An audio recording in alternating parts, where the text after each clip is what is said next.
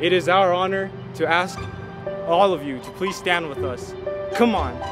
Class of 2020, please rise and turn your tassels from right to left.